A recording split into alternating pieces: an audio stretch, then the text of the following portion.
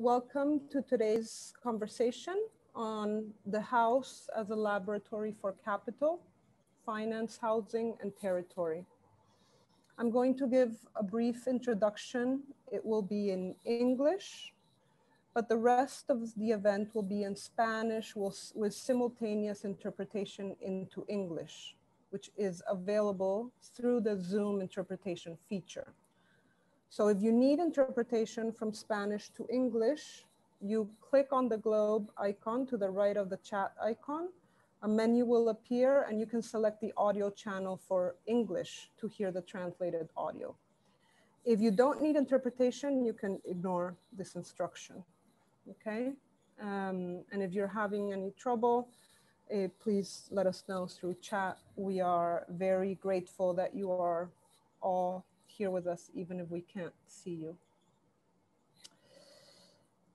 It is in some sense random that we are holding this event today on April 30th with some of the leading activists of the feminist movement in Argentina, as well as other colleagues from Brazil, to talk about, among other things, dispossession, violence, and gender. It was a day when we were all available.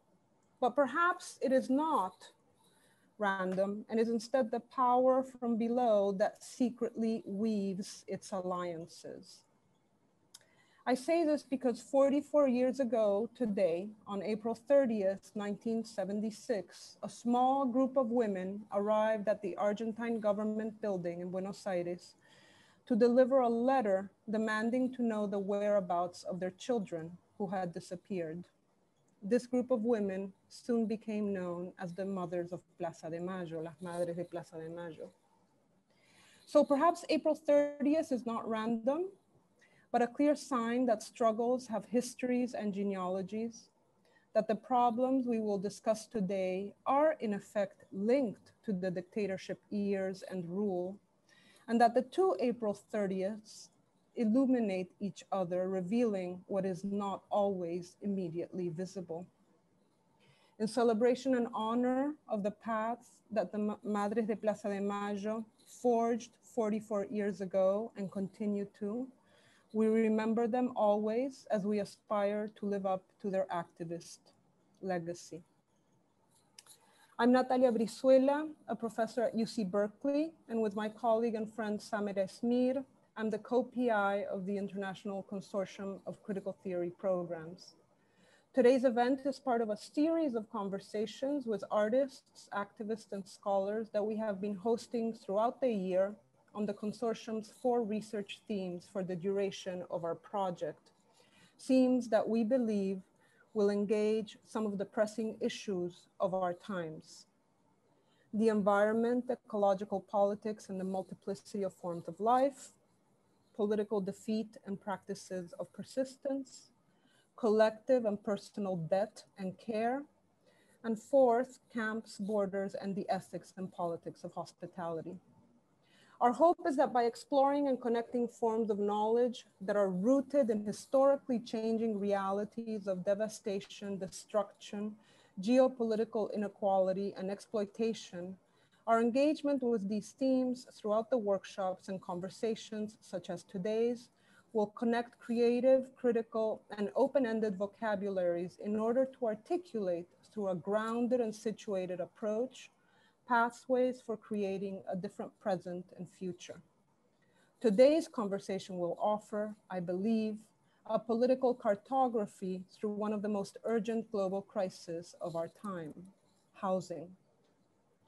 The International Consortium of Critical Theory Programs is generously funded by the Andrew W. Mellon Foundation and the Office of the Vice Chancellor for Research at UC Berkeley, and we thank them for their commitment and support of the consortium and its projects.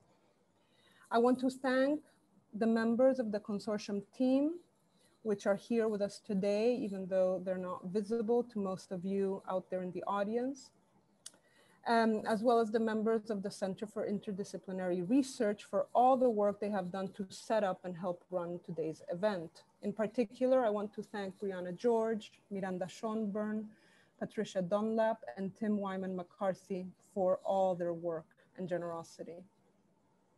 Today's conversation about housing, urban space, debt, extraction of value, and social reproduction will offer ways of accounting for new forms of exploitation, expropriation, and dispossession through a feminist framework.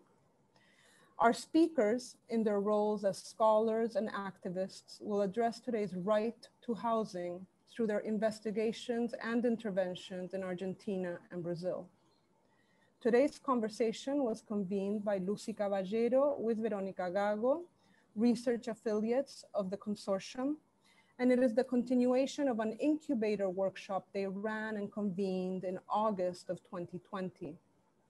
There's some incredible materials from this ongoing research on our website that I invite you to spend some time with, and I think there's gonna be a link on the chat.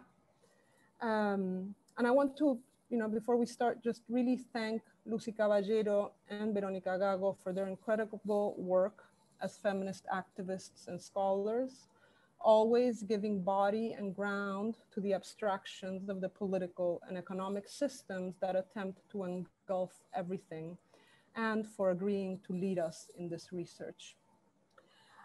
I will introduce our guest speakers um, in the order in which they will speak, and then we will plunge into conversations and there will be plenty of time for questions with all of you out there in the audience. I thank you so much for being here. I also want to thank our interpreters, um, Isidra and Marci, who are here with us, and to remind everyone, also myself, to speak slowly. We get excited and we go quickly and we forget that there it, it, is an incredibly difficult task and a tiring task to be interpreting.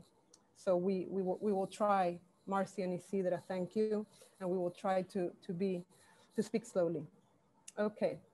So Luci Cavallero is a sociologist and researcher at the Universidad de Buenos Aires and a member of the feminist collective Ni Una Menos. She teaches gender studies at the Universidad 3 de Febrero and the Universidad de Buenos Aires. Her research focuses on feminist economies, in particular debt and gender.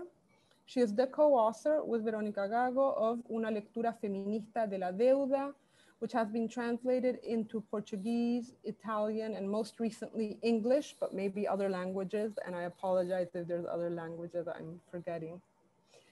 After Luci, we'll hear from Veronica Gago, who teaches political science at the Universidad de Buenos Aires and is professor of sociology at the Instituto de Altos Estudios at the Universidad Nacional de San Martín. She is the author of La Razón Neoliberal, Economías Barrocas y Pragmática Popular, which has been translated into numerous languages, among them Portuguese, French, and English, and co-author of Una lectura feminista de la deuda with Luci Cavallero, and most recently of La potencia feminista o el deseo de cambiarlo todo, which has been translated into Portuguese, French, English, and I know there's a number of other translations forthcoming. She's a member of the radical collective Press Tinta Limón and was part of the militant research experience Colectivo Situaciones and is now a member of Ni Una Menos. Raquel Rolnik is a professor, architect, and urban planner with over 35 years of scholarship, activism, and practical experience in planning, urban land policy, and housing issues. Based in Sao Paulo, she's the chair of the Department of Design and Planning at the School of Architecture and Urbanism at the Universidad de Sao Paulo. Rolnik is the author of numerous books, including Guerra dos Lugares, A Colonização da Terra e da Moradia na Era das Finanças, which has been translated into English and Spanish, A Cidade e a Lei, and Sao Paulo, História, Conflito e Território. She has held various government positions, including director of the planning department of the city of Sao Paulo and the national secretary for urban programs of the Brazilian Ministry of Cities between 2003 and 2007. Since 2019, she has organized a research action lab called Lab Cidade, and there's going to be a link for that too, uh, posted on the chat, so you can find out more about Lab Cidade which includes as one of its main projects an observatory on evictions in the larger metropolitan area of Sao Paulo. And there's also a link coming up for, for the, that observatory. Uh, Raquel will, will share her presentation with Isadora Guerreiro, who is a professor at the School of Architecture and Urbanism at the Universidad de Sao Paulo as well, and is also a researcher at Lab Cidade. Then we will hear lastly from Paula Freire Santoro, who's a Brazilian architect and urbanist based in Sao Paulo. She's a prof professor of urban planning at the School of Architecture and Urbanism at the Universidad de Sao Paulo. And with Raquel Rolnik coordinates research at Lab Cidade. And we're also very thrilled to have uh, Larissa Lacerda, who's also a member of Lab Cidade, here with us today. Um, in this conversation uh, that we will have after the presentations. So welcome everyone. Thank everyone for being here. And I am passing the, the word to Luci Cavallero, and we are now switching to Spanish. Bueno, muchas gracias. Eh, well, thank you very much. I'm going to start with uh, thank yous. First of all, uh, and, and, and slowly, please. Uh, I first want to thank all the people who work in the consortium, Natalia, Brianna, uh, to the interpreters, uh, Samera, who has uh, been with us and who has encouraged us to continue researching and they have inspired us to do these crosses that Natalia was talking about. And in second place, I want to thank very heartfelt thanks to our uh, colleagues from Brazil with whom we're going to be uh, uh, trying to deepen this uh, cross in our research. They are, have also inspired us to try and systematize what could be a line of research that is entitled The House as a Laboratory of Capital. As thank you very much to them for being here and also for sharing their research and activities. In the first place, I would like to start by by discussing the title, Why the House as a Laboratory of Capital, which is the title that we chose with my colleagues for this workshop. Veronica and I are not precisely students or researchers of the urban planning. That's, we don't do urban sociology. We were not focused at least in these problems or issues of uh, housing. But one of the first questions that we had is why are we crossing and needing this um, or why does this need of thinking about the question of space and the production or the and the urban production appears in our studies, in our uh, feminist and gender studies, and also why this cross appears in our research, which was uh, mostly focused on uh, private debt and domestic debt and how that intersects with the feminist uh, perspective.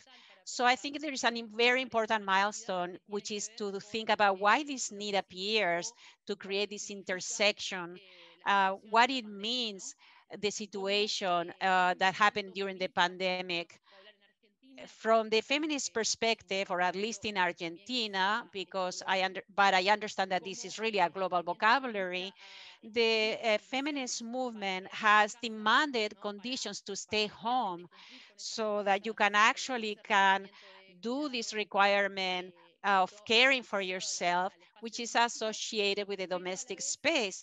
But at the same time, time we have been questioning what does it mean to stay in this domestic space? Why is feminism that has politicized this domestic space, this speciality in general, but specifically the domestic space as a place where there is oppression, exploitation, where there could be violence. And uh, my first uh, point is that, that uh, there is a demand uh, from governments to stay at home. And in some ways, it has been criticized uh, from a double perspective by feminists For on the one hand, uh, demanding certain material conditions to stay in that space. And secondly, to criticize that space uh, as a space of exploitation and gender oppression. In that sense, uh, in the in the pandemic crisis, we find an increase of uh, macho violence and simultaneously an um, housing crisis. And this is a very important point to think um, how the situation has uh, developed. Uh, the, now that we have a housing crisis, the violence has increased. And uh, what does that mean? Uh, that these dynamics are appearing or become centered in this pedagogy of feminism, which is to amplify what the relation is between uh, men violence and um, financial pressure. And in second place, we have tried to research in the pandemic um, the, the, domestic space as a, as a place to be researched because this um, housing crisis also has meant the increase and apparitions of new debts. For example, debts linked to rents, which has become a, a, a first step towards eviction. And but there's also been debts towards public services, as well as other debts that contribute to um, sustaining this space, this domestic space, um, and, and needing to be uh, caring for yourself at that space. So staying at home to take care of yourself has meant that new debts have appeared. So in that sense, we have also identified that in the space domestic during the pandemic, on top of these new debts, there is an increase of work that is not being paid.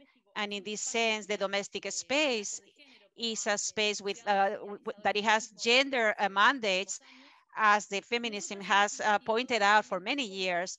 So we have been researching, for example, like domestic debt is really united with those uh, gender mandates. The finances have captured and taken advantage of these gender mandates, which mean that they uh, take it for granted that women and feminized bodies are going to accept uh, multiplying their work in order to pay for that debt. So we have talked about the pandemic becoming a new production of domesticity associated to debt and associated to the increase of the reproductive work. And we have talked about a debt that is immobilized. So the people who have been able to stay at their homes, um, for them, this pandemic that in some, in a sense, could be like a generalized subversion, we have actually thought about it uh, as what is it that has been suspended or stopped in time and what is intensified. And what we have noticed is that the, uh, uh, the, the, suspension of certain activities has signified the intensification of financial pressure. So we have also said that the pandemic can be thought from the perspective of which movements produce debt and which immobilities produce uh, rents or vice versa. And that's where uh, the uh, key role of the intensification and exploitation of the um, housing speculation uh, has appeared. In that point, we have started to talk about uh, ownership violence. In, on the one hand, there's been a violence that has been exerted from the owners and the, uh, the, the the, the com companies that uh, own, the own the properties, which uh, and have accumulated that debt both formally and informally, and that has been translated into a capacity to threaten and bribe this population. But we also have talked about violence that is an ownership violence to make it evident that um, the possibility to have or not have housing has meant in the pandemic a limit or a boundary for the uh, machista violence. The housing space uh, has uh, taken an, a central role as an intensifier of the gender uh, inequalities. And uh, last point that we should think about is about this uh, intersection in, in the feminist studies and the studies about debt and the studies about housing is that this crisis in housing uh, has signified as well going back so like uh, kind of go backwards in the family is who owns or doesn't own the property has meant going back into more family forms or familistas. This is a point that we need to uh, think about when we talk about the dynamic about property. Um, we need to think about it in conjunction with an uh, sexual and gender order. So this is also important when we think about the intersection of feminist studies with, for example, uh, urban sociology and what my colleagues are going to talk about afterwards. I want to stop here so that we can think about this uh, this point as a point of provocation and why we are using this term so much in the studies about financing and feminism, especially in terms of the housing issue, which is in the center of the debates and the feminist agendas. I'm gonna finish here and Veronica is gonna come up.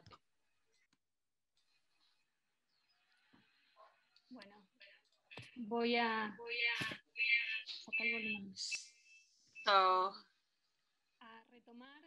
I'm going to retake it. I'm going to widen this definition of this workshop. I also want to thank all of you, all of you who make possible this meeting. It's a workshop, a talking workshop uh, that in uh, of a elaboration in uh, as it's of a investigation program it's not just uh, a, a finalized conference. It's a moment of sharing uh, while we're doing an investigation line, a collective process, a collaborative process of investigation. In that way, uh, the image that we've uh, selected for this workshop that says speculation, uh, imaginary speculation of the territories, how to put the territories in a place of uh, speculation. It has the purpose of uh, to dispute the, the word speculation uh, in terms of the financial or the real estate uh, allusions to the world. To retake this word uh, speculation in terms of speculation and collective speculation. How do the territories, especially the feminisms, have made territories in every territory, especially those that are in crisis, spaces of working collectively, spaces to think, to imagine, how do we want to analyze to live? And in that way, I think we're concluding, like Luci was saying, our investigations, our ways of doing activism, at the same time in the ways and the theories on the streets at home. Um, in that way, this question of how do you convert, how do you change uh, territories uh, as spaces of uh, having problems or issues. Um, and in general lines, uh, in our investigation, how have we been rethinking and reconceptualizing the the social reproduction of the majority in our countries is uh, uh, more and more penetrated by uh, finance, finances. How does how does finance have come into everyday life and how this has become a, a fundamental vector of uh, part of the go government of the neoliberal? And that uh, becomes a question collective uh, a collective question. How does the debt as a how does it extract uh, value in uh, completely heterogeneous areas of work?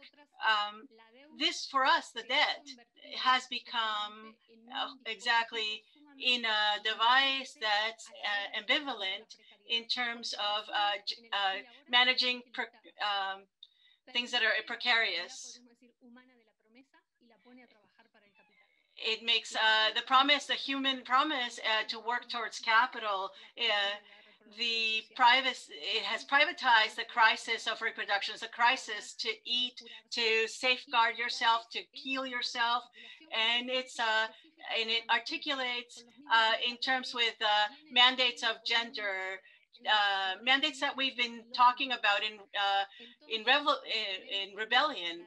And so we see that the debt takes uh, value from reproductive values. It explodes, ex it exploits, sorry, um, and it shows that value is produced there. And at the same time, it extracts value. And I'm talking about ambivalence because it ratifies the production of value in that space. And at the same time, it takes it over. It, it makes uh, things precarious, precarious generally.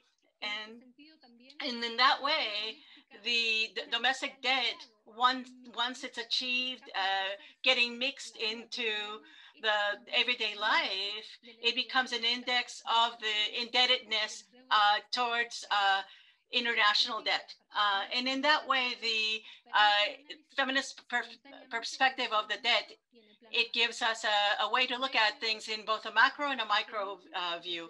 Uh, from the feminist analysis is to politicize this territory of social reproduction confront directly finances in terms of a device that uh, comes from the government uh, and these mandates of gender and this exploitation of work. And this investigation has uh, is one of the axles that's allowed our reading to think and to rethink what are we talking about when we talk about the domestic space? How does this space, which is the most closed and the most intimate space, has been penetrated by technical technology, the most abstract technology, and this uh, superimposition of closed space, confined space, and at the same time, the intrusion of technology, of financial technology, is an important point to take apart the stereotypes. and what is uh, uh, uh, this domestic confinement? and is it mobile and, and immobile, closed and open, or crossed by these technologies? And this uh, second point that I wanted to make is an image that we're working with and that has to do with uh, the uh, idea, the bigger idea of the house as a laboratory of capital is the the home as a factory. It's an it's an image that we've begun to work, the, starting from the pandemic, from the investigation.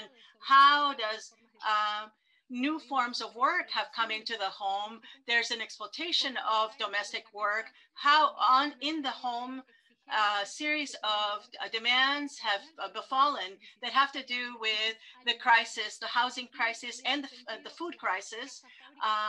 So the home as a factory, it's a space, it's a, a part of the the fem, feminists uh, were talking during the 1970s about the home being a space, as productive space. There's a superimposition of those, the house and the factory, this, this intensification of both of the domestic uh, space as a home and, and factory is one that we want to have a discussion about. Uh, we want to this third point that I want to talk about is to widen the idea of uh, domestic territory. Um, when we're talking about uh, the popular economies, the migrant, the women's economies, thinking about the domestic, not just home confinement and closed within the house, but also the widening or the um, um, falling uh, the the widening of the presence of the home in uh, the other structures that guarantee the reproduction of life uh, that cannot be uh, just confined to a house. So there are double ways, double uh, directions. The, the um, concentration on the inside of the home There's no uh, social reproduction possible if it's only within the house. We need these networks, these community networks, these neighborhood networks that they guarantee to be the front line in the moments of crisis. And this makes us think, what are the spaces the, that the feminisms have been arguing for and that giving value to? These are the spaces where the uh, the, uh, the mandates of gender are being disputed body to body that uh, eh, to demystify these these spaces. And so to finish i wanted to simply add that these these planes of analysis for us need to be opened up in a discussion that has to do with uh, pr property that's where we talk about violence in property. Uh, in the analysis, in the eco economic uh, feminism, uh, this distribution of property, and not just not just the property of bodies, which uh, we've classically discussed within feminism, but also the property of land, of patents, of food, of of homes is it's a point that allows to uh, the widening of the debate and also, lastly, how to think about strategies to uh, lose the debt, to get rid of the debt. Um, how do we think about debt and space in terms of getting rid of the debt and reappropriating uh, as two vectors of the political practice? I also leave this. Uh, my time is coming up, and I'm passing uh, the mic to my colleagues. Oh, okay. So now we're going now. And we want to also begin thanking the entire team, uh, to the colleagues, and the possibility of sharing uh, what now are really in our hypotheses of, of work, hypotheses of work, and our challenges, uh, our research challenges. Um, as Luci said and Veronica said, we have done a little uh, uh, a path that's a inverse from the political uh, urban uh, policy, from the, that analysis, from the housing and the urban towards the feminism, toward a conversation or discussion, starting from there, uh, from a context that's very wide and so I link it to what Veronica uh, said about uh, the passing on of the debt from the countries towards the families, towards the individuals and women, as uh, how we see the role of housing in this context. And so Isadora will start there with our hypotheses, and then I'll continue, and then Paula. Uh, thank you. Uh, good, afternoon, all of you. I want to thank you for the invitation to share our work here with you. Our hypotheses about the new world uh, context for neoliberalism, where we're observing a an agenda of flexibiliz flexibilization of the looking to expand the market, um, uh, linked to global finances. Uh, in in contrast to a first period during the 90s, where the neoliberalism in Latin America was in privatizations, a public. Uh, we're now seeing a new wave uh, where there's a a relationship of links that are maintained over time, a ongoing flow of uh, public uh, sector resources towards the private sector. And this is accompanied by the mechanisms, by institutional mechanisms to transfer resources from the public sector to the private sector. So this uh, flexibilization of that relationship uh, begins in the labor laws, but then extends uh, to all the rights, to all the social rights, including housing. And so the logic of the expansion of the uh, financial markets is based on the uh, insecurity of the uh, contractual relationships that are private and and the logic of the business or the or the uh, uh, entrepreneur, the self. The, so it takes the relation, the responsibility away from the states in terms of uh, the rights. In the working world, we see the expansion uh, of uh, the uberización. I did not get that last word. Um, that can also be related to housing. This has done uberización. Oh, I think she's saying uberization is a contractual uh, form that concentrates the flows of uh, income from a, a, bunch of different uh, uh, private contracts that are precarious and temporal, and then um, that you transfer the uh, the responsibility to the provider of services to the worker. in that way, contracts, private contracts are made fragmented, are atomized, and, and de-articulated in this logic of the entrepreneur or, or the uh, they've been able to avoid the law and at the same time there's a great concentration of accords of agreements between the consumers and then uh, service providers that can be managed by the um, financial system by an intermediary, that controls that controls the standardization of uh, the service of providing services and the control of the work and uh, uh, housing as a service and not as property. And so we see that the Uberization of work is parallel to that housing in the same way of uh, gathering the um, um, income as rent. The contract is temporary. It's uh, linked to the uh, giving of services. There's a separation between using and property. There's a flexibility uh, between the production and the space with uh, a, a more control over time. The key to this transformation are the di digital platforms that allow the management of this cloud of providers and the uh, placement of finances because they're intermediaries uh, within their technological intermediaries that divide part of the flows of these relationships to the uh, financial systems these uh, digital platforms are companies that um, uh, are in, involved in the stock market or want to be involved in the stock market. In the case of the housing, uh, no, vivienda, yes.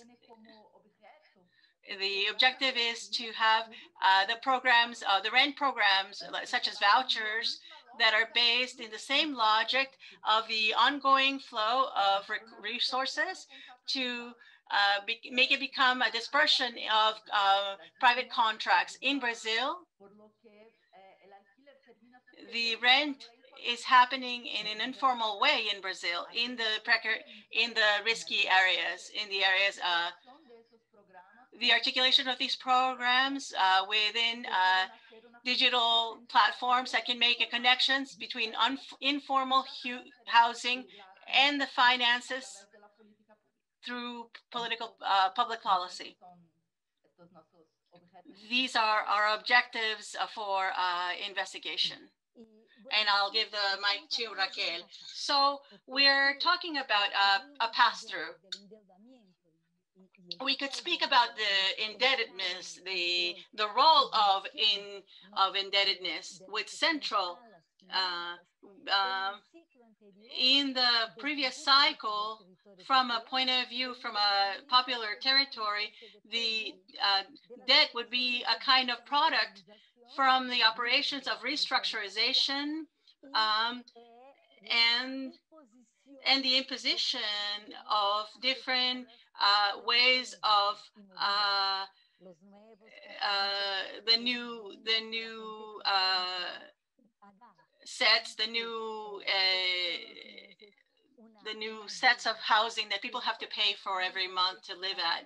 Uh, so passing the debt from the state to the family and submitting uh, people to their logics. Now there's a new phase in place. It's not just, it's no longer necessary the operation of uh, taking territory away, but the reproduction of the process of self-production or self uh, uh, management of uh, housing with the possibility of being colonized by finance in a way, a new way of, pen, of penetrating finances within the territory of those who are the most poor, the poorest. They have a, a very little money, but there are very many of them. So there's a possibility there of a great profit and great uh, rentability, uh, great income uh, making. And for this operation, this is going to strengthen the practices, the extractivist practices uh, that are already present in the territory. For example, uh, it strengthens the role of managers, of local managers, many times, uh, sometimes criminal, uh, that articulate uh, uh, illegalities with the formality. So a management that's in the limits uh, private regiments of uh, territorial control uh, in extractivist model. In terms of the militias in Rio de Janeiro, it's absolutely clear that it's an articulation of a part of the state, that especially that part that is the police military part eh, of the state with uh, service providers and markets with the use in even with a violence of alliancing that is uh, discretionary that's very many times it's uh, uh, the the law holds uh, able. The territory uh, and and drug uh, these illicit markets these spaces that are historically this ambiguous territory formal illegal formal informal illegal legal it can exist it can not exist this opens the space uh, to penetrate these markets between the legal and illegal. Um, and also, it opens the space to this political, this discretionary policy of the state.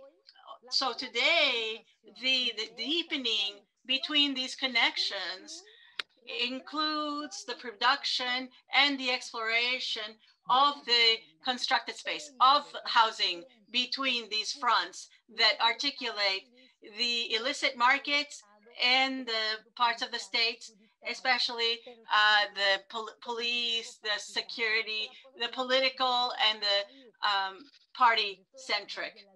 And the possibility to extract through rent, especially around rent. Rent is a key question.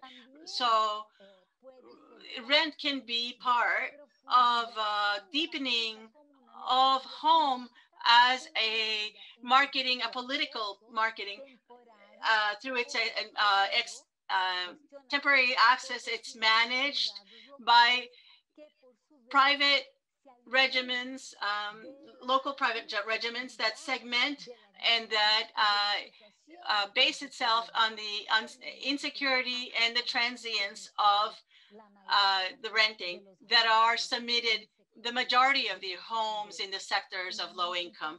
And so we're talking about uh, in between two circuits, two types of exploitation circuits.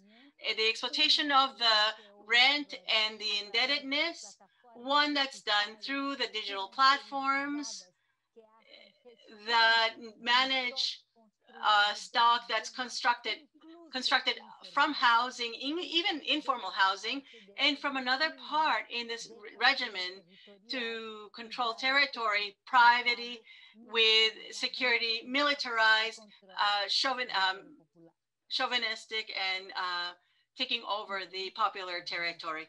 And that's what we are going to continue with. I think now I start. I think it's, it's my turn now. I'm going to make an introduction or better said, I'm gonna use a presentation. You can see her, see it in the in Zoom. I'm gonna speak in Portuñol, Portuñol, like a mix of Portuguese and Spanish. Uh, I chose to write some of the things in Spanish so that you can understand. I'm gonna start by showing. Oh no, Ahora completa. Um, Listo. there we are. Now we have the full, the full screen of the presentation. Listo. Vamos. Eh, todo lo que voy a mostrar hoy para Everything that I'm gonna show today is part of a research of LabCidade and is an opportunity for us to debate and share our initiatives. And I organized with Larissa Lacerda, who is uh, here in the Zoom. I hope you can see her. Uh, it, it's a job or it's a project that we already started, so it's already on its way. And we started with these people that you can see here, Marina, Giselle, Isabella.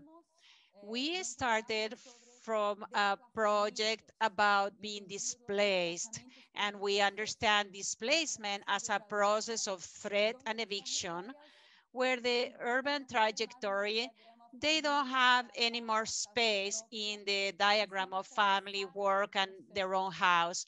They are uh, intersected by projects of housing insecurity and permanent transience that marks their lives and territories. And we want to have a new understanding of a diagram of intelligibility uh, going from the displacement as a point of anchoring. So we looked at evictions as a dispossession and restructuring of life.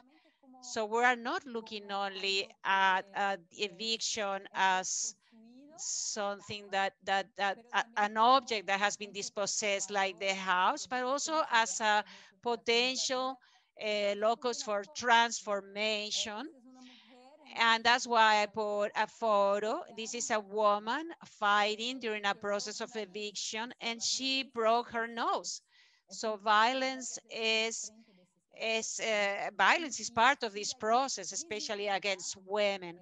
So we want to give visibility, not only about the process of evictions, but also about who are the people evicted from a point of view that is placed on thinking of eviction as uh, from the point of view of the experience of threatened women and evicted women and as an event from which it is possible to see processes of resistance and alliances.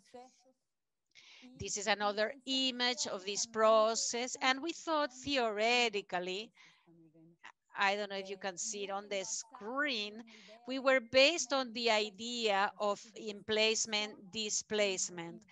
So it's uh, processes of displacement that mean destruction of the housing, uh, labor uh, precariousness, and ending to the social security and also debt that uh, fall upon part of the population and that at the same time, this population that is evicted needs to uh, be displaced and that produces other processes of emplacement and they have to reconstruct their networks, their relations. It's a little bit what Veronica was talking about, the amplified house and the communal networks.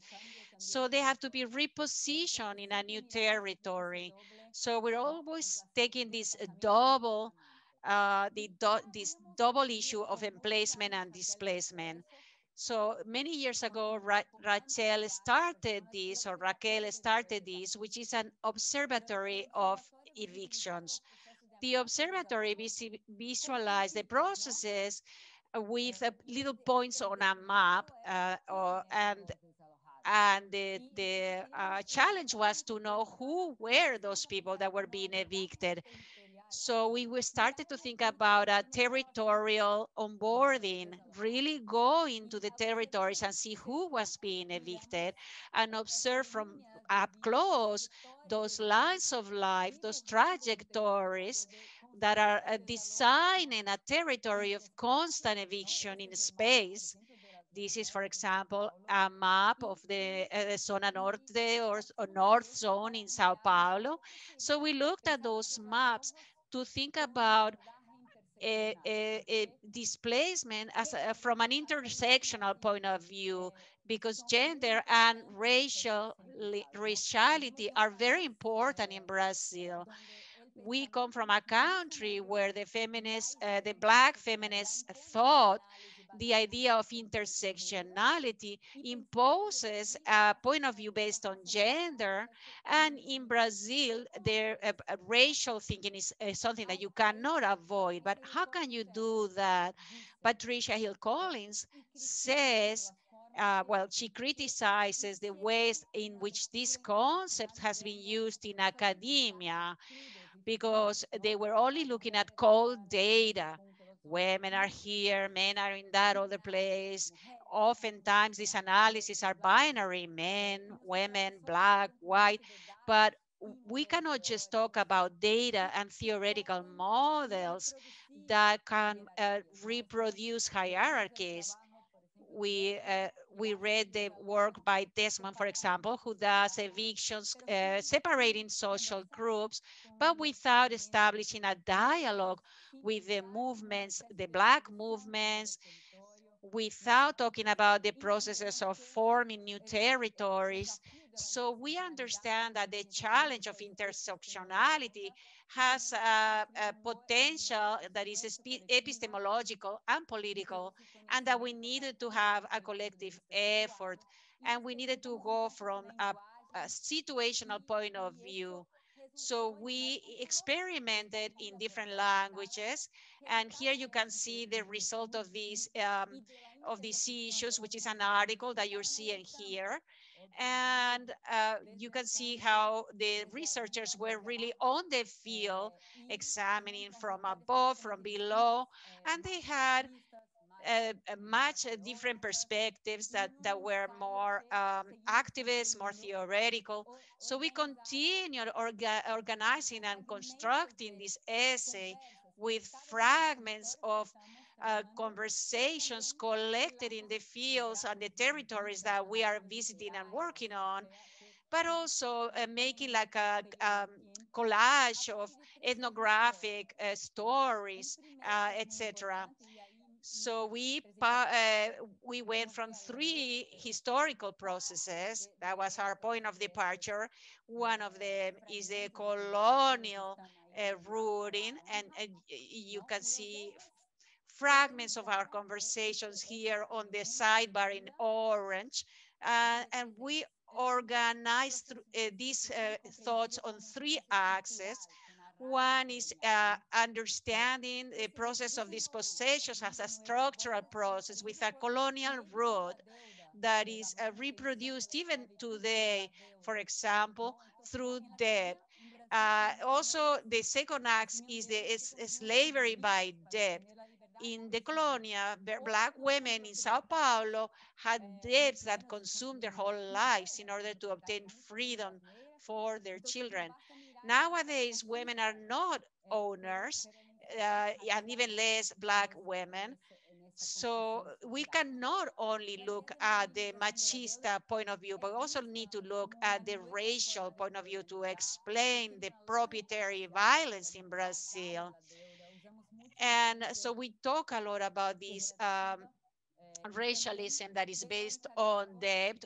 We use a lot uh, Da Silva and also Ver Veronica Gago when we studied these processes of dispossession. And they have a lot to do with what Isadora presented about Uberization and also with debt. So it's, uh, yes, we are entering into a financial or financialization role that is much bigger than the actual markets. Then we are talking about the uh, day-to-day -day violence that are um, situational or uh, slow or that are uh, related to ownership or violence that is ethic. And these violences are looking at processes of evictions as processes that are violent and slow, which don't occur only at the time of eviction, but also during the time of reorganization in the processes of threat, and also even more tense during the pandemic, uh, where the family of this place is the possible structure to inhabit and imposes the moralization, the, the paper of gender, as well as relationships with debt that um, is what we say in, in Portuguese, uh, live from favor. You, you can stay in the house just for a little bit and uh, at some point the family is going to have to pay that moral debt in one way or another we also have a, eviction or displacement related to domestic violence because many women suffer domestic violence and they need to figure out where they're going to live. So this is the second act. And the third one is like looking at those spaces as a space of cracks, of dispute, and of resistance. It's also a process of resistance and transformation here you can see the photo of an occupied house by women, so they could talk about uh, gender violence. And, uh, and here you can see images from resistance, as well as resistances and assemblies, organization in these spaces. And here I'm going to close with a sentence from a, a meeting, an a communal, communal assembly that says that a woman said that it's, uh, it's not worth for nothing that the municipality says you are going to make it and you will have a better house. So what do we want to do now? We want to continue these individual trajectories by women. And in the last slide, I put some of my hypotheses see how they are related with new forms of colonialism. So like they maintain the subjugation that is colonial and racial, and also they are related not only to the destruction of housing, but also to the labor force being precarious and, you know, the destruction of social security and uh, uh, also the process of threat that one lives and uh, the reorganization of the structure of reproduction of life during the displacement or eviction. Um, uh, I'm sorry if I went a little bit over time.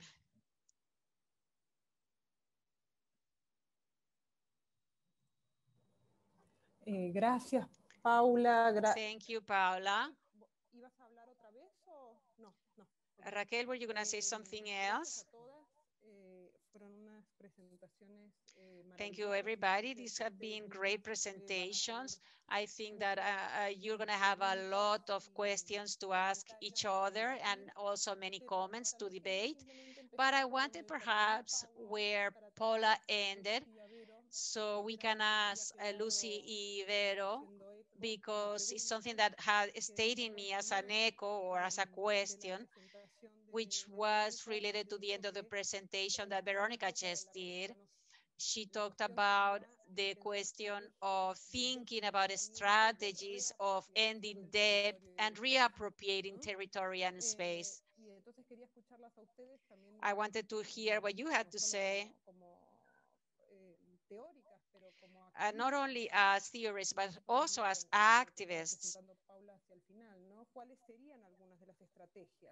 What would be some of the strategies for ending debt and reappropriating territories that you're seeing that is actually happening or that you are imagining that could happen? Because I thought, yes, of course, one of the things that you can do or that you've been doing in the process uh, and also through the organization Ni Una Menos is that a dispute about terms, and you've done that as well when talking about debt from 2017 on. So like, for example, rephrasing the debt is with us. Um, so one could say these strategies of disputing terms, re-signifying them, one could imagine that is symbolic because it's, uh, it's words, but in fact, the words that you uh, dispute or that you talk about is actually something that has a body and that appears in the body of the city itself and of the women. So it's not just only about a symbolic struggle about words. It's about the words and the things are still connecting. I don't know if you want to talk a little bit about these strategies that you're thinking about or that you're seeing beyond the dispute of terms. Yes.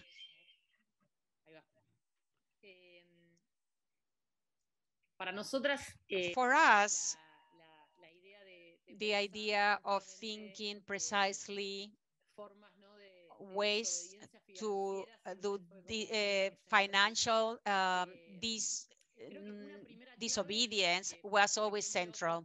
One of the first keys, because it's all these processes that we're talking about, uh, for example, what Vera was talking about was the advancement of uh, debt above social reproduction is a is a financial colonization, and it's a process that appears not as a theoretical operation, but in the sense that one can um, confront it and illuminate it, we can see clearly that it appears during the pandemic very clearly the accumulation of debt for rent. These are processes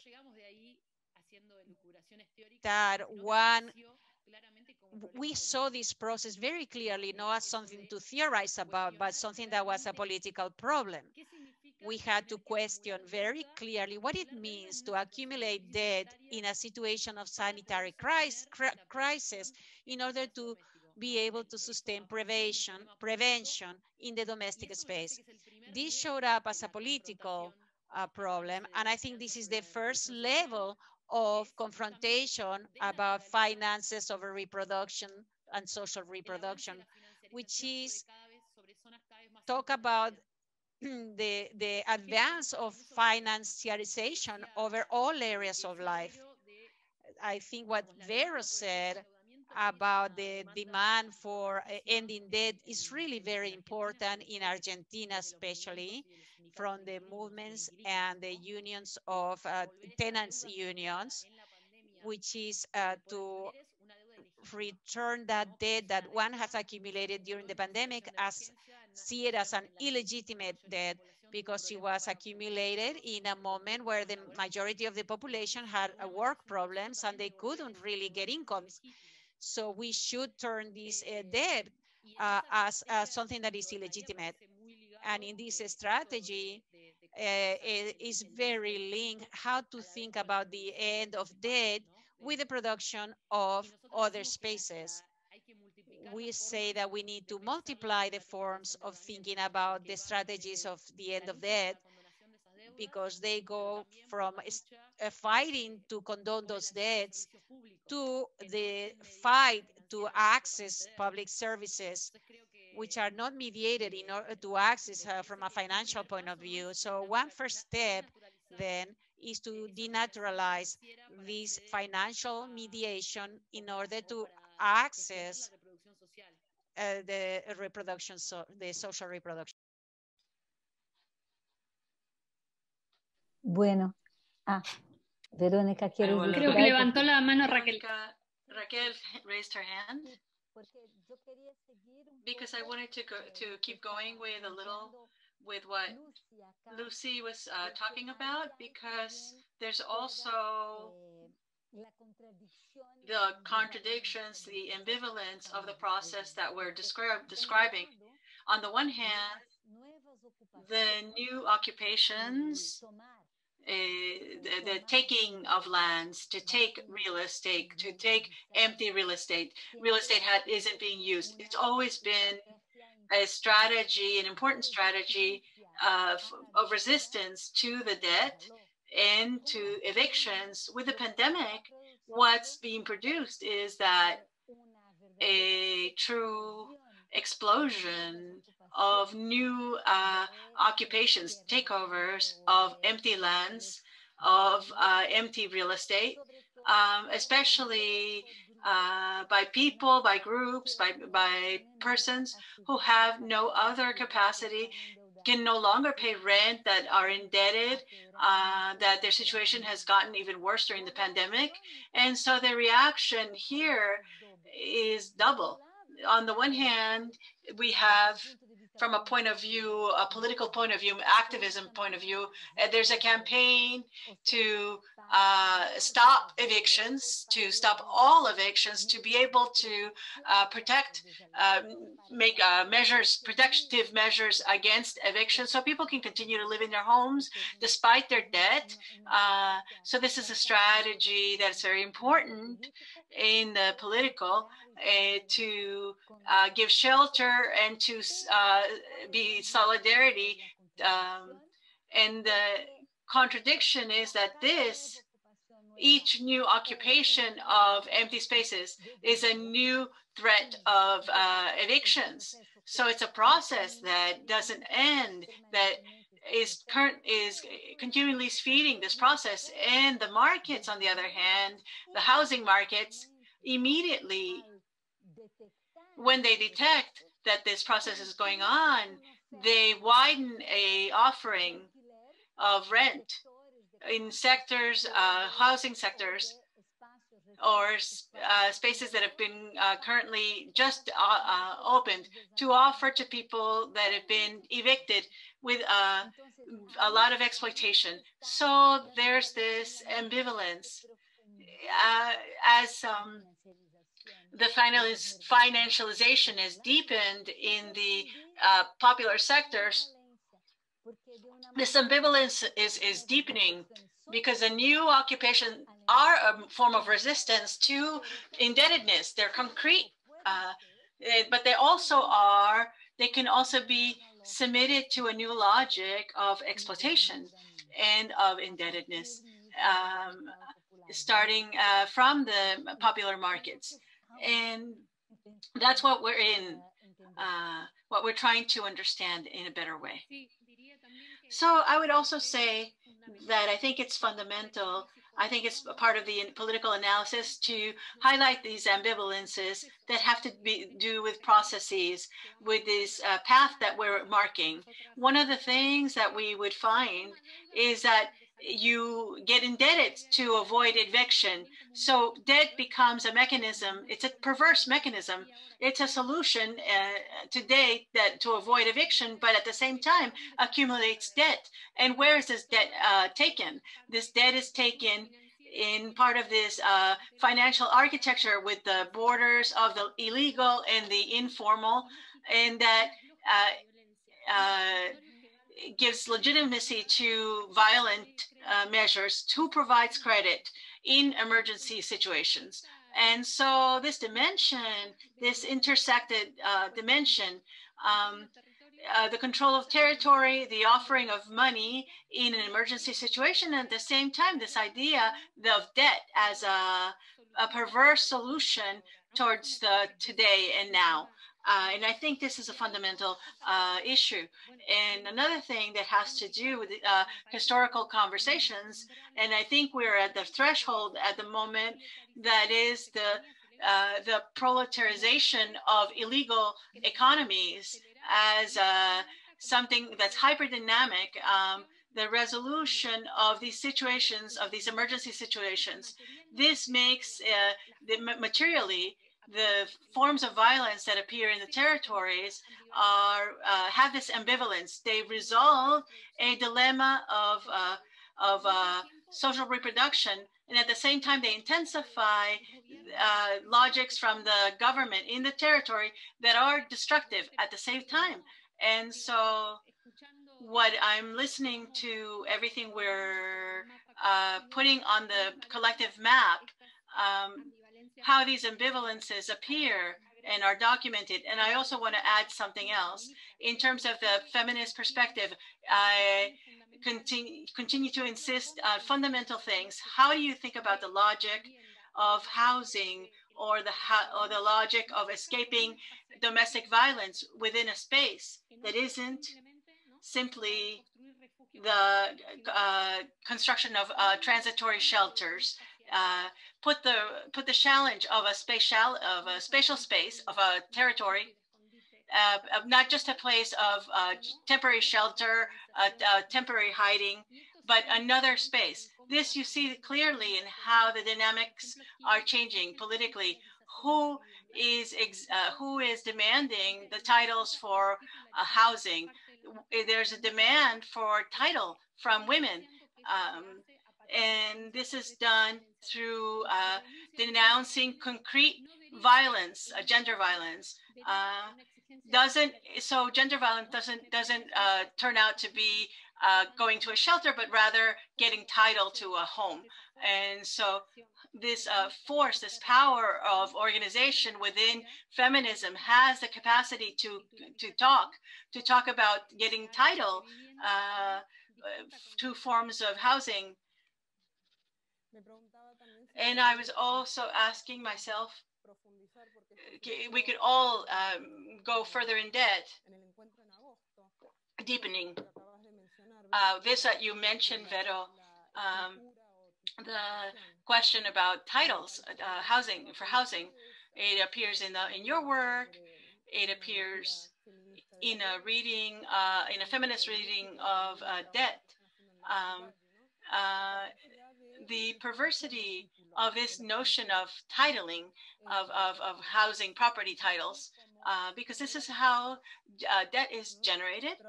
Uh, and at the same time, uh, that you've uh, just suggested, Vero, that there is, there's also, uh, there's an appropriation, there's a taking over of that perversity by women to demand getting the property title within certain conditions within uh, i wanted to speak about this perhaps not the entire public or not everyone understands the situation between debt and title and what we're calling the popular territories low income uh, territories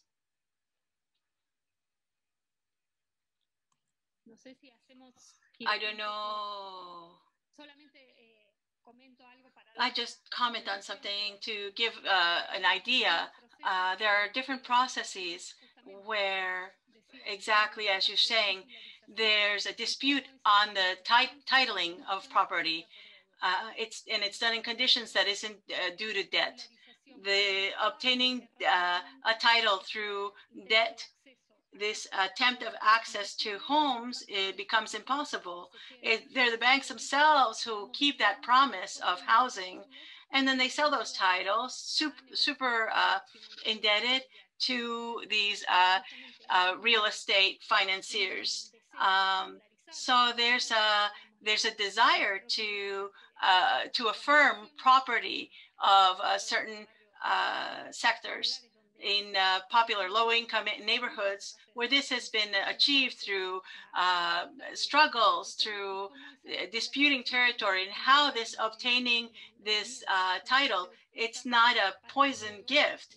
Um, it, we don't want the bank to traffic with those titles of property. Um, and I would add, sorry, who so only to comment on something. I can't hear. Are you speaking, Paula? I am. Are you, can you hear me? Uh, okay, so I think a, a, central point is to de debate property. Uh, violence of in of property has that because Why? Because sometimes we're battling to get a title to property, to change the story of where women were not property owners, uh, but we keep the, the idea of property that on in and of itself, for nature of the word itself, has a hi hierarchy. Who has access? How do they get access to that? In and what we really want is a house, a place to live in. And so I think we have to debate property, collective property. It's a very important issue. It's a crucial uh, issue in Brazil, and and especially in this special type of arc that goes from the dictatorships to our countries within Latin America the, within the indigenous uh, po populations that continue even today to resist and and uh, resisting the private property uh, notion and the uh, indigenous territories um, as areas of exclusion, areas of field. And we can find many uh, examples, well, during the dictatorship, this process that you're all describing. La relación entre, entre escritura, titularización y deuda es... Uh, relationship between uh, title and debt, it's a way that the state took over uh, indigenous lands. It was a case in Chile, in the case in 1978 with the southern uh, territories, the Mapuche territories. Uh, but I also agree with you.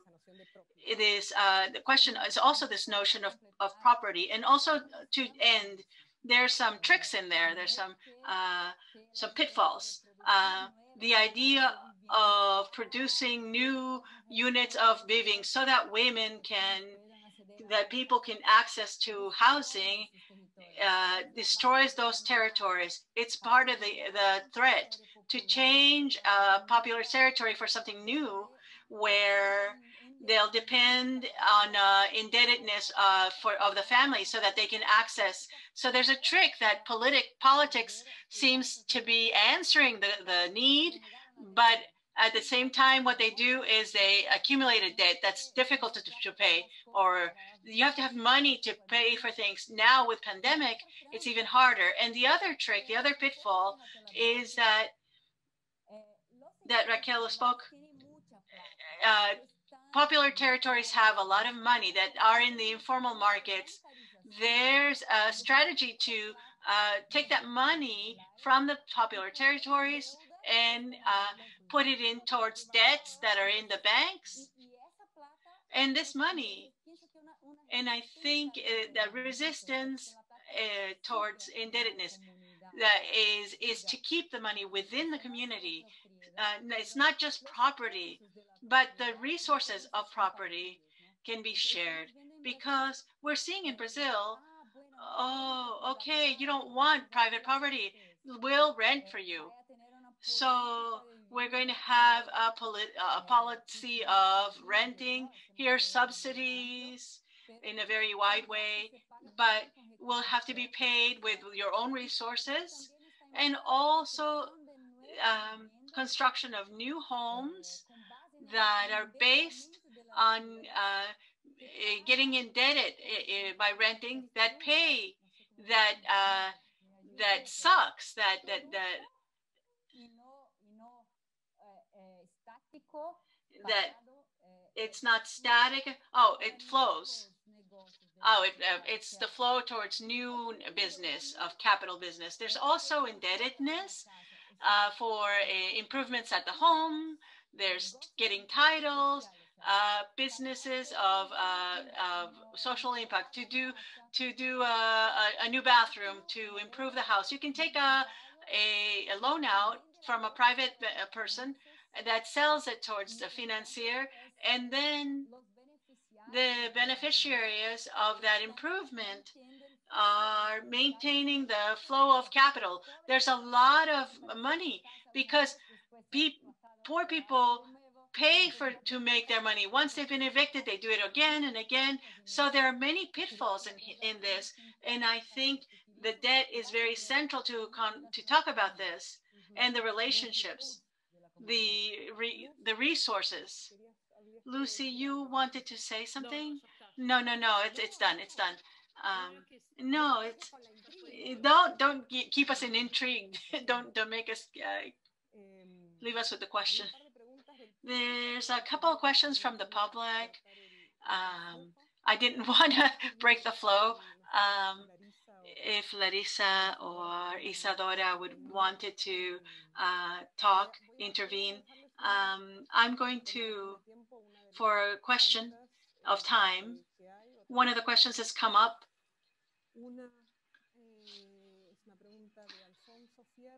It's a question by Alfonso Fierro. I wanted to ask how you see the model uh, of uh, debt and housing in countries like Brazil and Mexico.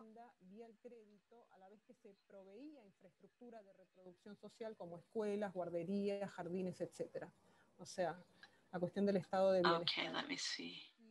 Um, sorry, the question is, uh, there's a two questions in the question and answer. Uh, and that the first one is in English, so I'm going to translate the Alfonso Fierro one I didn't finish. Um, I wanted to ask how you see the model of debt and housing of the well-being, uh, the state of well-being in countries such as Brazil and Mexico that uh, would um, register uh, inhabitants in modern spaces, housing spaces through credit. Um, at the same time that uh, it, uh, reproduction infrastructure was being um, given, such as schools and uh, childcare and gardens, etc.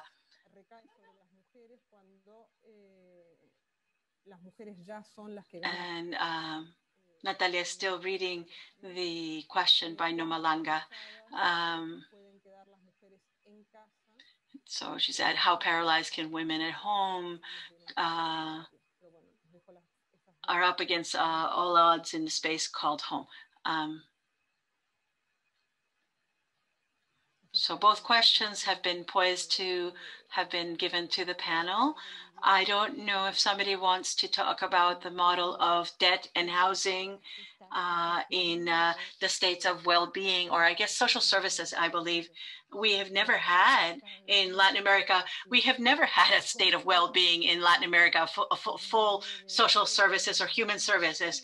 It's a model of debt and, and housing. It's a history of construction without urbanization, without without territoriality.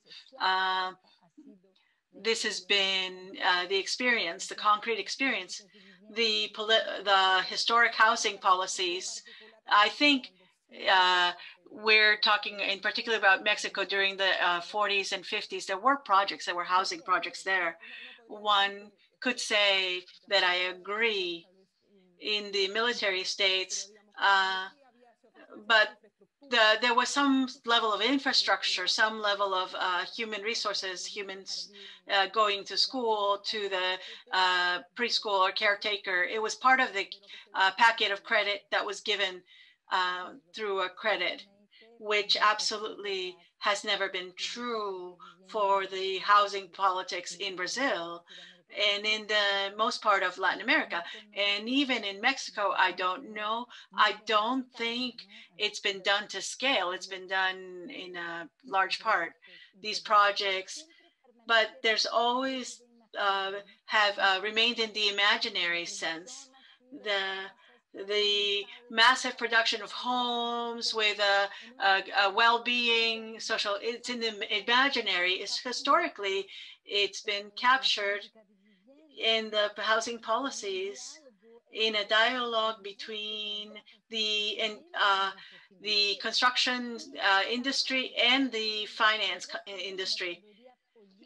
And it's always been uh, a, a political merchandise of the highest order because of the need and the importance of housing to, for families.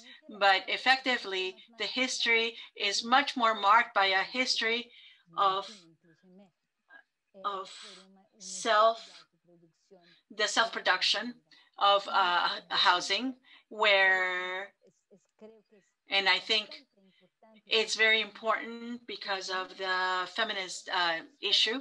Historically, historically, the leadership of the movements uh, for housing have been feminine. The leaders for housing movements have been female.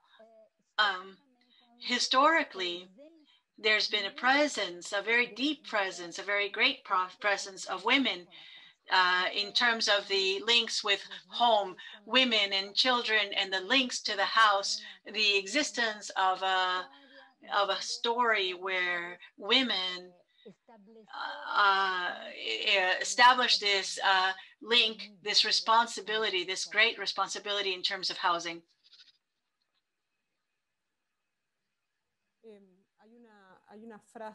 There's a phrase that Veronica and Luci wrote in a, a, femi a feminist lecture of a reading of uh, the debt. How do you do sabotage against finances? And and I was asking perhaps if maybe you would like to speak about the work that you've been doing in in uh, 31 and 31 Bis. Um, or other interventions you've worked upon. Um, you give a series of examples, um, mainly in America, in Latin America, and also in Mexico. But I wanted to see if you wanted to uh, answer that question that you yourselves make. How do you do a strike and and sabotage against finances?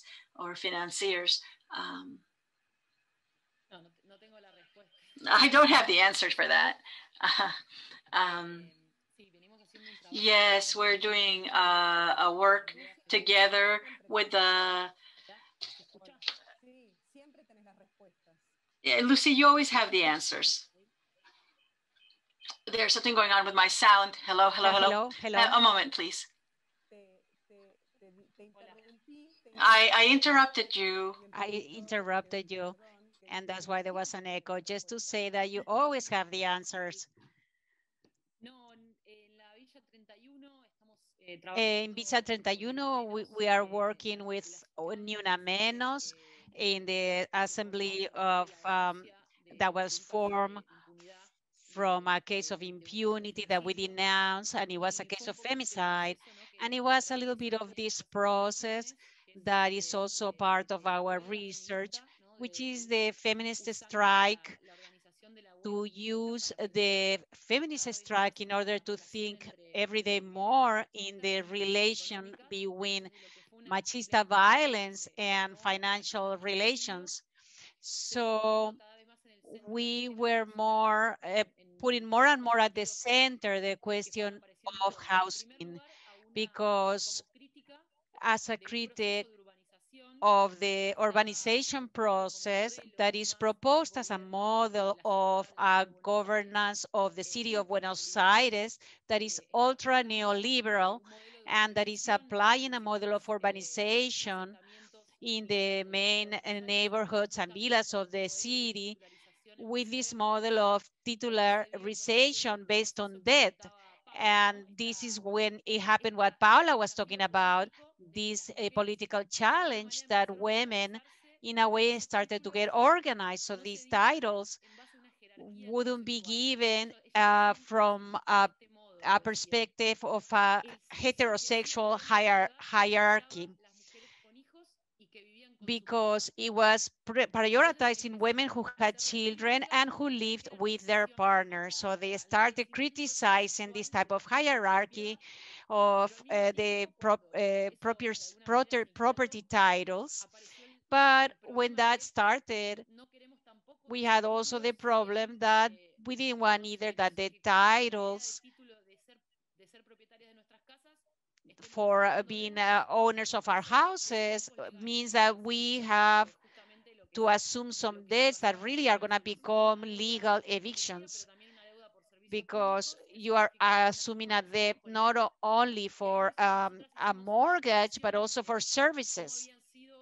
So here we made a distinction between the processes of evictions from the military dictatorship up to now, which uh, before they often were based in an explicit violence, and today they are based or mediated in these legal evictions that are mediated by debt. So we made this distinction and the Feminist Assembly started with this criticism uh, uh, to the titles based on debt. And that became a process that started as a criticism to the way the justice uh, ensures the impunity of femis, femis, uh, women, men who commit femicide. And then it ended up being a map of this um, housing crisis and the dynamics within the territory. And we also started questioning that uh, a short while ago, the government of the city approved a clause that uh, links the titles of debt or allow that these titles can be sold fraction. And so therefore you can connect the process of ur urbanization with the uh, markets of global financing. So at that point, we started as well uh, having a hierarchy of feminist criticism that started in the polarization of domestic space, gender mandates, etc. Uh, but it also became a criticism from the domestic space to the world, from the home to the financial uh, global markets. I can even share with you a map that we were working on.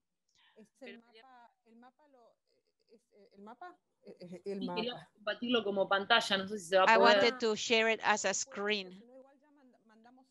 If not, uh, we already sent a link to the map already for the audience. I just wanted to say that in that map, there's not only a process of research uh, based on the idea of uh, giving a concrete body to how these financial groups move and what dynamics organizes the neighborhood. But also the government of the city operates by destroying the political alliances between renters and owners, between immigrants and natives. So this uh, title by debt also implies a lot of political uh, dynamics of division among the many potential alliances of the feminists in the territory. So in that map, we also wanted to not only um, write a diagnosis of what's happening, but also we also wanted to show the feminist spaces that were organized to uh, form a resistance, like a counter geography of the financial groups that is also marked on the territories. And in a way, I was thinking about this political uh, challenge that we have in feminism to criticize these hi hierarchies uh, of um, how do you title properties, as well as uh, also criticizing how private property works. So we ended up um, um, constructing all of these in a very precise way. Like the, for example, the tenants union had to go out and intervene in the pandemic and they explained to us that it was so difficult to do politics when the housing is organized in or associated with your own house. And also, I was also thinking about the pandemic and how it was, uh, or there has been a lot of displacement that the, uh, the woman call um, displacement by domestic violence. And it's uh, like a escape of this domestic space when, when there is violence within it. So I wanted to think about how we could serialize that, how we could think about those escapes, which are uh, don't appear only because debt accumulates, but there are many other trajectories that are escaping this, this, this domestic space when there is violence. I think this is an important point, how during within feminism, uh, the, the escape from the house or the reclaiming of the house was in a way um, supported by feminism. In Argentina, when we hear, heard testimonies of many women who occupied territories in different neighborhoods, they would say, well, I'm escaping uh, a violence situation or a situation where there's so much crowding that it really is impossible to maintain. So the fact that you can enunciate that as a political argument that you are escaping certain spaces, I think all of that is related to a historical change because before you didn't have that type of argument as a, a, a very prioritized argument, as a political argument in order to justify reclaiming or occupying territory. So I think that we are seeing a change that is very important, that it is related to this uh, way of um, political intelligibility that we were talking about. Yes, and we just got a question that is related, which is about amplifying the idea of the uh, domestic territory.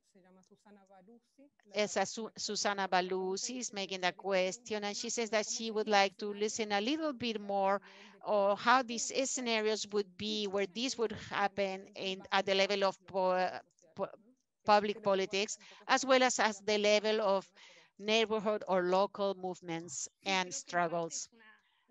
Yes, I think this is just uh, like um, emphasizing that social and um, popular movements and the feminist networks have organized ways of self-management of services of uh, housing in a collective way in Argentina that has taken the name of urban local economies and is a way of stabilizing the, the uh, landscape and establishing ways of uh, self-management from self-management from working uh, ambulatory on the streets and uh, and also you know just stabilizing ways of uh, managing territories in a stable way not as the transitority of a protest and is reorganizing a structure and demonstrating that this infrastructure infrastructure is not provided by the state.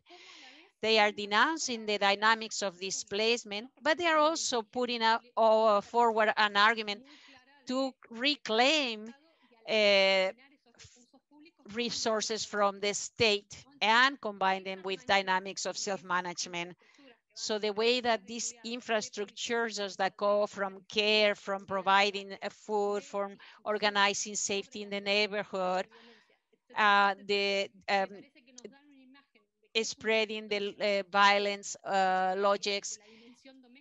This is a territory that is appropriating the domestic um, space, but also taking them beyond the domestic space. So we can see how they organize popular, communal, um, dining uh, places and um, uh, as well as how they discuss politically and urbanization, for example. In this sense, there's been an amplification.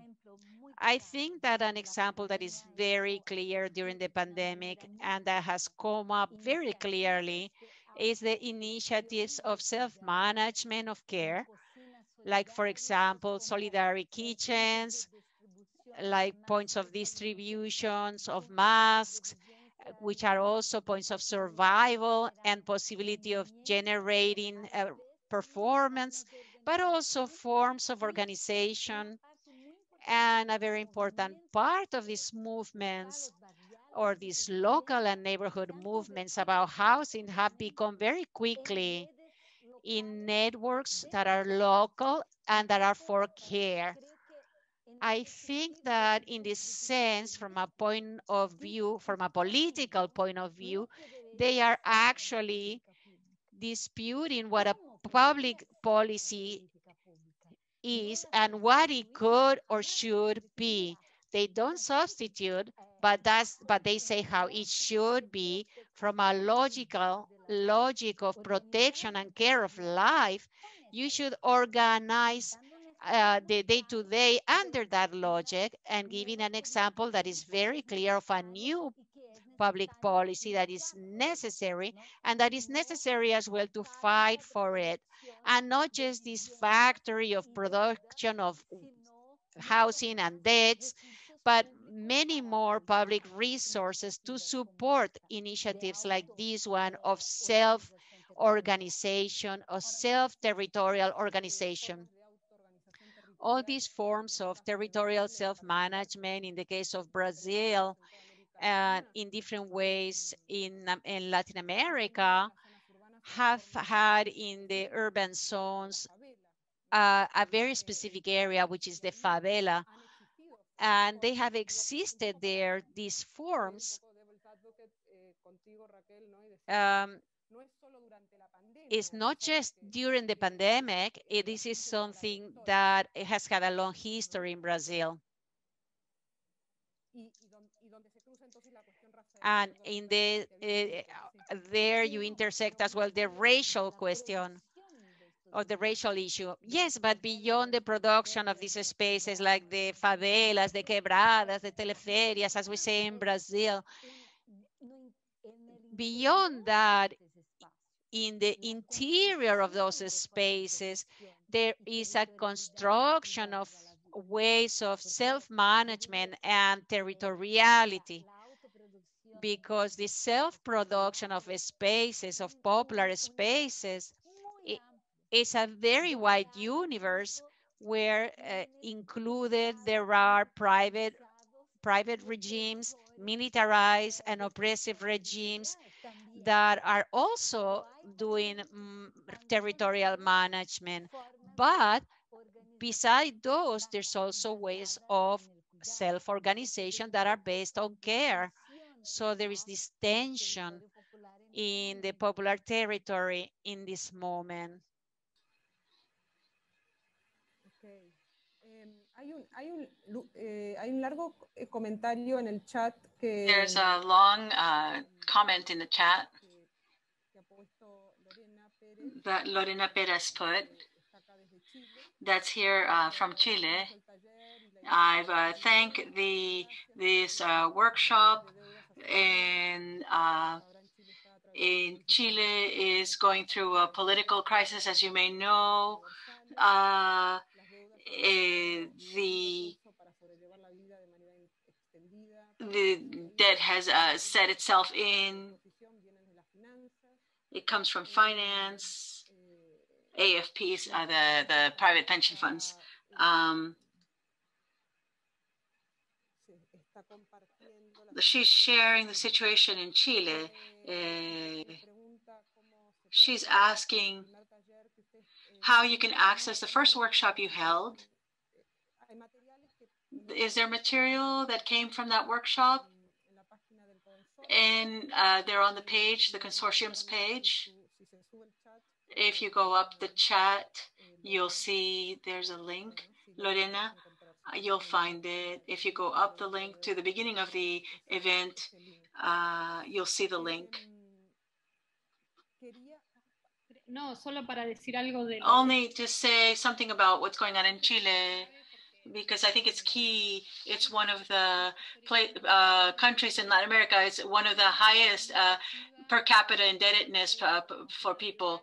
A neoliberal model of uh, for indebtedness that uh, what she's highlighting is the the debt that has a, a, political protagonism that's very there with that uh, they you owe us a life uh, for that there's a graffiti that became very famous uh, the uh, debt and life there's concrete things to talk about pensions to talk about the financing of food and uh, and and supermarkets. I think this uh, at on the Latin American scale, I think it's important to uh, make that uh, collective file, this regional collective files. What are the specificities about the policies uh, in each region, and what is it, what do we have in common?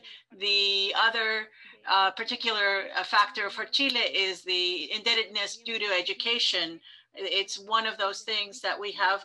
How uh, public service is a politic.